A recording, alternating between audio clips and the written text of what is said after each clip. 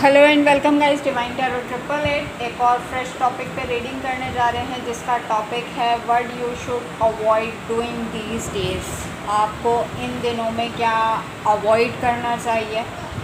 और ये journal timeless और कलेक्टिव रीडिंग होगी। जितना आपकी सिचुएशन से रेजोनेट करे, उतना रखिएगा। ज़बरदस्ती सिचुएशन में फिट इन करने की कोशिश मत कीजिएगा।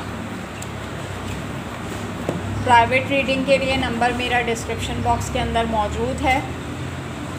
टिकटॉक के बायो में भी मौजूद है। पर्सनल रीडिंग कभी भी फ्री ऑफ़ कॉस्ट नहीं होती। नेक्स्ट मंथ जून के फ़र्स्ट वीक से टैरो क्लासेस का आगाज़ कर रहे हैं।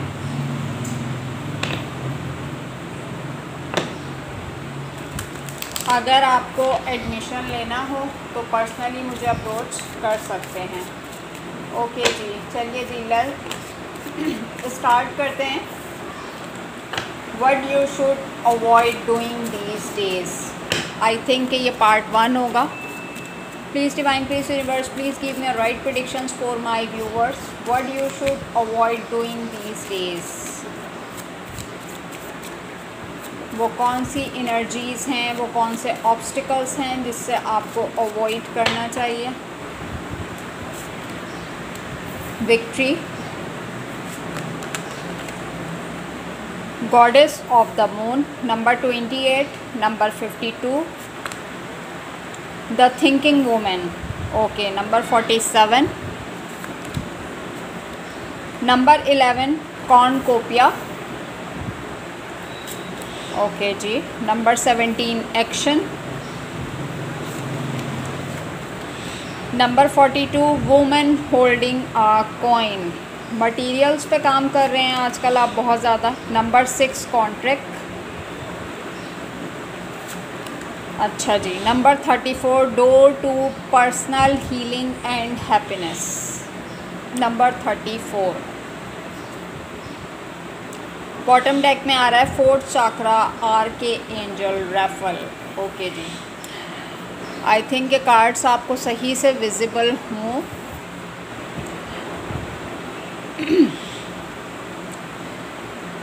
बात कर रहे हैं हम what you should avoid doing these days आपको इन दिनों में किन चीज़ों से अवॉइड करना चाहिए? अगर सबसे पहले मैं आपकी एनर्जी की बात करती हूँ, आप ना आजकल अपने मटेरियल्स पे काम करते हुए नज़र आ रहे हैं। अपने मटेरियल्स को लेके, अपने फाइनेंसेस को लेके बहुत ही ज़्यादा रशिंग एनर्जीज़ के अंदर जा रहे हैं। डिफरेंट कॉन्ट्रैक्ट्स आपके सामने आ रहे हैं डिफरेंट अपॉर्चुनिटीज़ आपके सामने आ रही हैं और आप इसमें डिसाइड नहीं कर पा रहे। कि आप पहले किस अपॉर्चुनिटी की तरफ़ जाएँ। मल्टीपल ऑप्शंस और मल्टीपल अपॉर्चुनिटीज़ मुझे यहाँ पर नज़र आ रही हैं क्योंकि यहाँ पर door to personal healing and happiness जबकि आपको पता है कि आप, इसमें से किसी भी कॉन्ट्रैक्ट को छोड़ना नहीं चाह रहे। तो आपसे आपको अवॉइड किस चीज़ से करना है? आप ना अपने मटेरियल्स को मल्टीप्लाई करने के लिए आप बिना सोचे समझे एक तो कोई कॉन्ट्रैक्ट साइन ना करें, जब तक आपको उसकी पूरी हावनाव ना हो। क्योंकि आप एक्शन ओरिएंटेड पर्सनैलिटी लग रहे हैं। वुमेन होल्डिंग आ कॉइन आपने शायद आपके दिमाग पे लग गई है कि अब आपने सेविंग्स करनी है। आपने कोई गोल है जो सेट किया है। एक बिग गोल जिसे कहते हैं, यानी कि एक बड़ा आपकी ज़िंदगी का टारगेट कौन कॉपिया यानी कि अगर इस कार्ड को आप गौर से देखें कि एक गोल्डन कलर की लाइट जो है, आपके मटेरियल्स पे और फाइनेंसेस पे पड़ रही है, यानी कि आप ना बहुत रशिंग एनर्जीज़ में जा रहे हैं कि ये अभी आपका गोल्डन टाइम पीरियड चल रहा है, जो चीज़ें करनी हैं, आपने इसी टाइम ड्यूरेशन में करनी है, आपको अपनी तमाम चीज़ों में विक्ट्री चाहिए, आपको अपनी तमाम चीज़ों में सक्सेस चाहिए। बैकग्राउंड नॉइज़ को अवॉइड कीजिएगा। ट्रैफ़िक का शोर है पीछे बहुत I am so sorry but थोड़ा सा बर्दाश्त करना पड़ेगा। गॉडेस ऑफ़ द मून की एनर्जी यहाँ पर आप कुछ पास्ट के ट्रामाज ऐसे हैं जिन्होंने आपको बहुत डिप्रेसिव एनर्जीज़ में कर दिया। विद अ थिंकिंग वूमेन आप अपनी सोचों के दायरे से बाहर नहीं निकल पा रहे। यानी कि आप इस चीज़ को सेंस ही नहीं कर पा रहे कि आपका एक गोल्डन टाइम पीरियड शुरू हो चुका है। विक्ट्री और सक्सेस आपके कामों में आएगी ही आएगी। बट जो आपने पास्ट के ट्रामाज देख लिए हैं, उसको लेके आप अभी तक अपनी सिचुएशन को हील नहीं कर सकें। यानी कि अपने ऊपर और अपनी एनर्जी के ऊपर जो आपका बिलीफ सिस्टम है ना, वो डगमगा रहा है। यानी कि आपको ये है कि जो भी चीज़ें हैं, वो मैं जल्दी जल्दी ग्राप कर लूँ। बट आपसे कहा जा रहा है कि इतनी फास्टेस्ट एनर्जी में नहीं जाएँ। इस चीज़ को समझ लीजिए कि आपके जो भी हर्डल्स और ऑब्स्टिकल्स का टाइम था, वो गुज़र चुका है।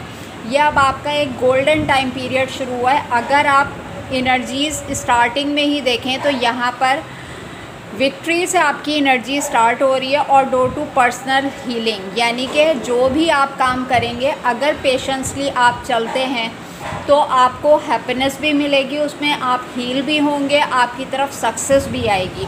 बट अवॉइड क्या करना है कि रशिंग एनर्जीज़ में आपने एक्शन ओरिएंटेड नहीं बन बनना है। किसी भी चीज़ को, किसी भी कॉन्ट्रैक्ट को, किसी भी काम को बिना सोचे, समझे एक्शन नहीं लेना। उसके टूवर्ड्स जब तक आपको उसके बारे में पूरी जानकारी ना हो। यहाँ पे फेमिनाइन एनर्जी बहुत ज़्यादा एक्टिव है। ज़रूरी नहीं है कि ये फ़ीमेल के अंदर ही होती है। बज़ दफ़ा मेल पर्सनैलिटी के अंदर भी फेमिनाइन एनर्जी होती है, जो कि चीज़ों को मल्टीप्लाई करने की एबिलिटी रखती है।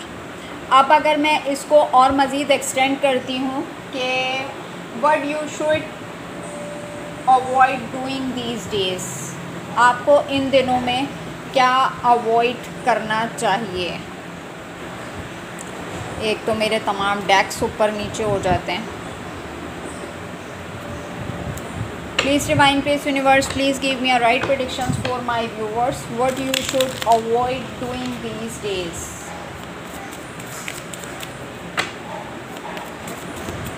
एक तो मैंने जगह चेंज की है तो सारे गाड़ी वाले, बद्दर वाले सबने जब ही गुज़रना होता है, जब मैं ऑन रीडिंग होती हूँ।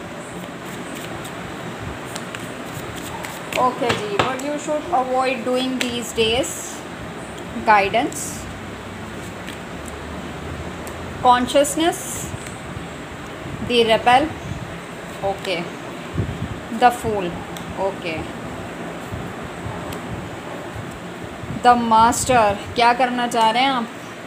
Participation experiencing the last one is transformation देखें आपने अपनी लाइफ का जो ट्रांसफॉर्मेशन पीरियड देखा है ना, उसके बहुत अरसे के बाद जाके अब आपकी लाइफ में सेलिब्रेशन मोमेंट्स आए हैं।